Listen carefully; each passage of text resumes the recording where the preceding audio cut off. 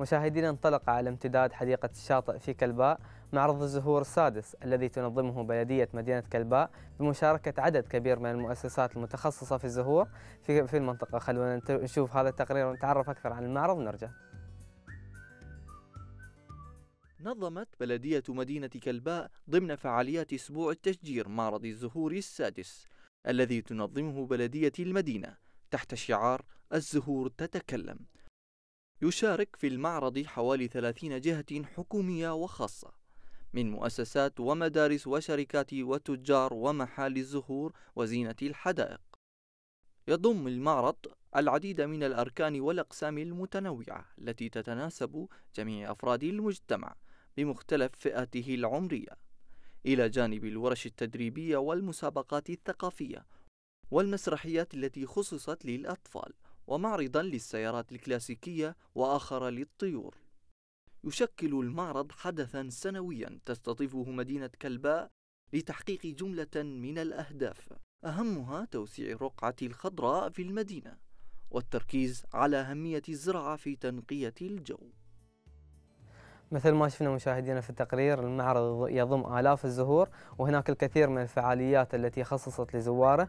معنا في الاستديو صباح الشرقية الأستاذ جاسم محمد الشحي مدير الخدمات المساندة في بلدية كلباء رئيس اللجنة المنظمة لمعرض الزهور. صبحك الله بالخير أستاذي. صبحك الله بالنور الله يحفظك. يا هلا فيك أستاذي.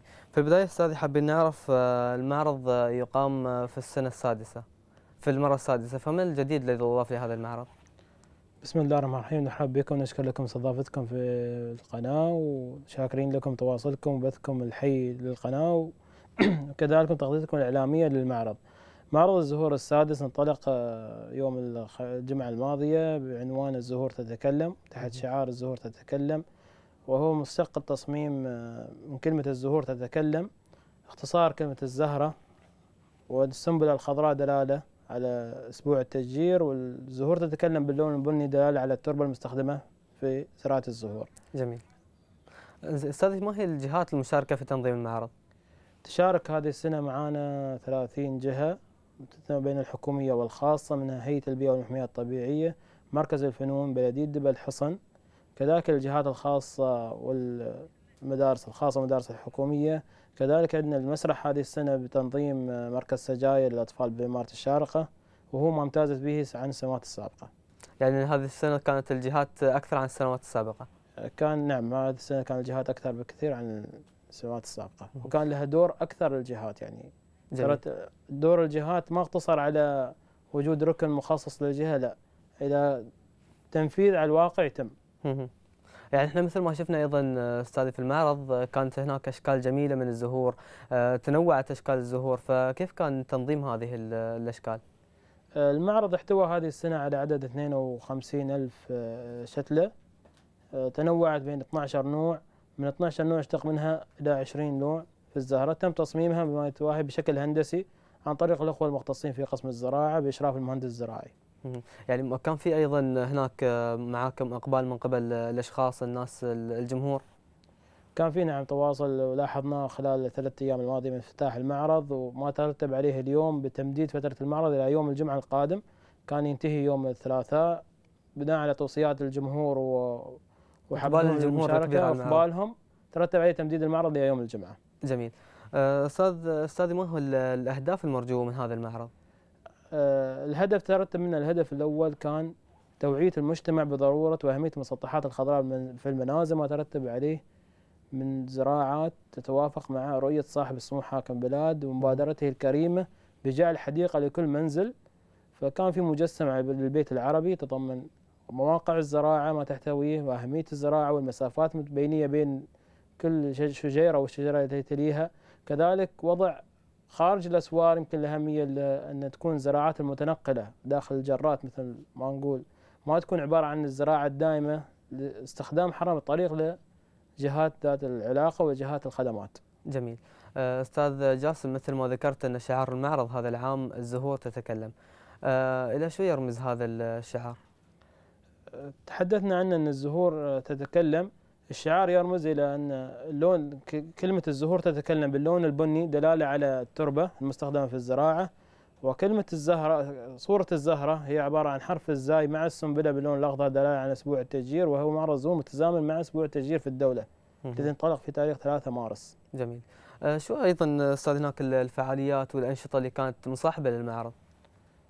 الفعاليات والأنشطة المصاحبة للمعرض أولها كان المسرح آه، بإدارة مثل ما ذكرنا بإدارة الأخوة في سجايا ومن مسابقات وورش تنفيذية. كذلك خصصنا هذه السنة موقع للورش بمشاركة جميع الدوائر من ضمنها سجايا كذلك والجمعية الخيرية والمدارس العاملة ومركز مراكز تنمية الأسرة في إمارة الشارجة. وهذا يعني جزء وكذلك في جهات أخرى يعني إذا ما ذكرتها لا يزعلون منا يعني إذا ما ذكرت لكن تقريبا 30 جهة شاركت معنا هذه السنة. جميل. أه، أستاذ جاسم كان في هناك بعد جانب خصصتوه ليوم الشهيد. فشو كان دور يوم الشهيد في هذه الفعالية؟ أه، في البداية رحم الله شهداء الوطن ونسأل الله أن يتغمدهم ويدهم أهلهم الصبر والسلوان ومواكبة لما الدولة ومكانة الشهداء عند رب العالمين وتقديرا للدولة لدور هذا الشهداء وما أدوه من تضحيات تم بإشراف أحد موظفين البلدية بتصميم مجسم للطائرة ومجسم للشهيد أو للجندي في أرض المعركة وهذا لاقى كبار كبير من الزوار وإشادة كثيرة بهذا التصميم. جميل. آه، أنا الصراحة شفت آه، عند في المعرض يعني أنه كان في هناك أيضا آه، جانب للسيارات الكلاسيكية. نعم هذه مشاركة من أحد المحلات في كلبة بادرة أحد المحلات أنه يشارك معانا. فتم تخصيص موقع له وتم وضع سيارتين بتزيينهم بالزهور. وكذلك هي تزامنا مع أسبوع المرور انطلق يوم غد. انطلق طبعا أسبوع المرور تزامن معه أن دلاله انه ما الأشياء الممنوعة على السيارة والأشياء اللي المفروض تكون في السيارة. ودليل واضح يعني حتى الزينة هل هي صحيحة أو غير صحيحة. فهو دائما دور توعوي. اختصرت المشاركات إنها تكون توعوية مش م. مشاركات بس مشاركات عادية. يعني ربطوا هذا الموضوع بأسبوع المرور. نعم. جميل. فكيف كانت ردة ردود فعل الجمهور؟ الجميع أشاد فيها وخاصة الربط بين أسبوع المرور وأسبوع التشجير ومعرض الزهور. حتى الممرات اللي تم استخدامها في الممر ممرات كانت عبارة عن شوارع تراعي الارتدادات الموجودة تراعي الزراعة على أطراف الشوارع. كذلك يعني مثلنا كل شيء بواقع. جميل. آه، أستاذي هذا الجانب آه، شو يضيف أيضا إلى الاسر للعائلات إلى التجمعات أو شو مخصصين أيضا للأسر؟ أشدنا بموقع للأسر المنتجة والورش اللي شاركوا فيها وهي تخدم الطلاب والطالبات باستخدام.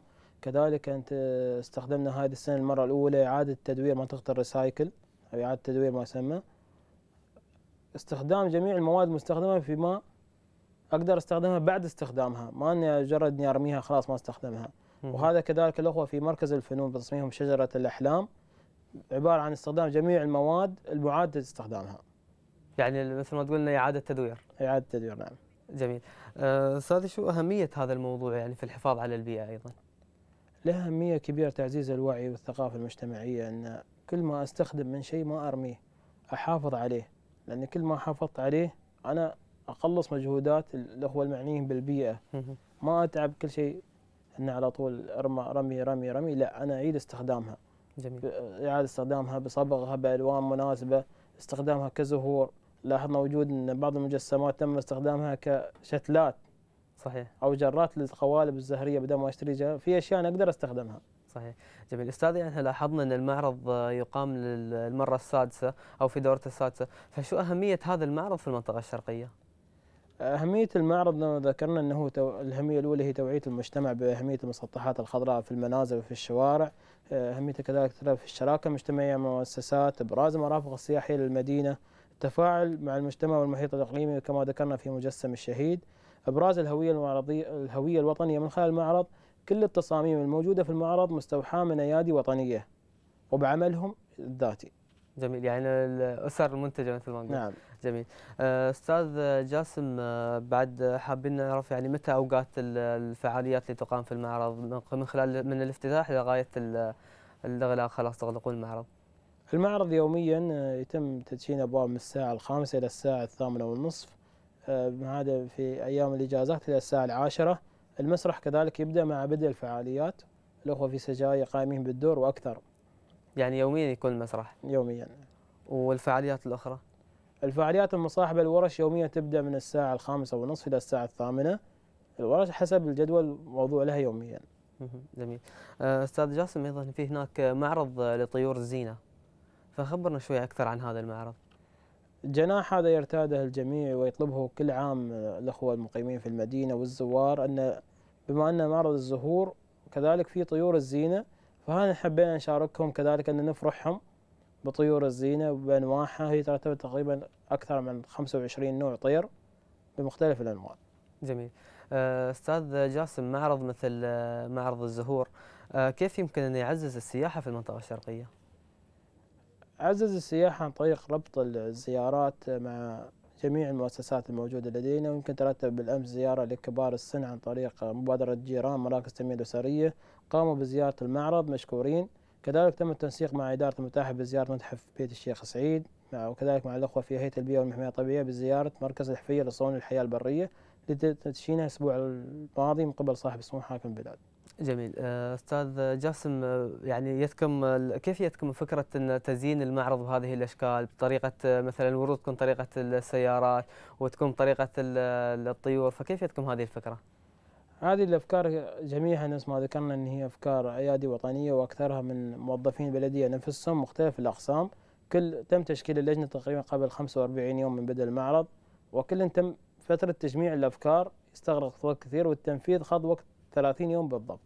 يعني فكرة المعرض قضت 30 يوم آه، في في الترتيب وفي في التنسيق. الترتيب نعم في الترتيب 30 يوم وقبلها كان فترة الأفكار. جميل. تم تجميع جميع الأفكار وضعها في إطار ورسم هندسي للمعرض وهذه كان أول مرة إنه يكون في رسم هندسي للمعرض مخطط جاهز وثابت معتمد بالمواقع.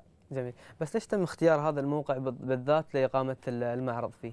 لبيان أهمية الشا... حديقة الشاطئ وهي موجودة ومساحاتها كذلك وتوفر مرافق خدمية موجودة فيها. جميل.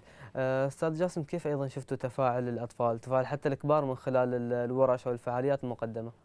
تفاعل الجمهور كان كبير للغاية وسعيد بهذه الفعالية وكما أشرنا في البداية أن بناء على طلبهم تم تمديد الفعالية ليوم ال- الجمعة. مهم. كانت تقتصر على خمسة أيام تم تمديدها إلى ثمانية تمد- امتدت لثمان أيام من قبل ال- الجمهور أنهم صار عدد كبير في بناء على في طلب الأقبال الجمهور. معه نعم. جميل. أيضا آه، أستاذ آه، جاسم بعد حابين نعرف عن ال- الأوقات اللي بتكون فيها ال- الفعاليات مثلا يعني يوم أكيد في هناك تكون أيام مميزة أو أيام خاصة تكون فيها فعاليات شوي أكثر. جميع الأيام ما حبينا أن نبرز دور يوم عن يوم ثاني. جميع الأيام متساوية وحاولنا نوزع جميع الفعاليات على جميع الأيام مع اختلاف الفعاليات أن كل يوم في فعالية تختلف عن اليوم اللي قبله. جميل. ما كل الفعاليات نفس اليوم جميل. آه، طبعا آه، أستاذ جاسم نشكرك على تواجدك اليوم معنا ونتمنى لكم أكيد التوفيق في هذا المعرض وفي المعارض الأخرى. شكرا لكم. شاكرين لكم استضافتكم شاكرين لكم كذلك تغطيتكم الإعلامية للمعرض ونشكر ونشيد بدور قناة الشرقية من كلباء شكرا لك.